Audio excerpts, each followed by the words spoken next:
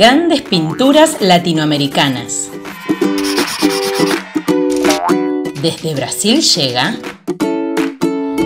Avaporu. Fue creado en 1928 por la artista Tarsila do Amaral.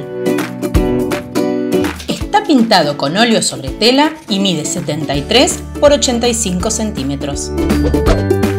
Se lo pintó a su marido como regalo de aniversario. Avaporu, en lengua tupí guaraní, significa hombre que come gente. Sus manos y piernas grandes valorizan el trabajo manual que realizaban los trabajadores de Brasil.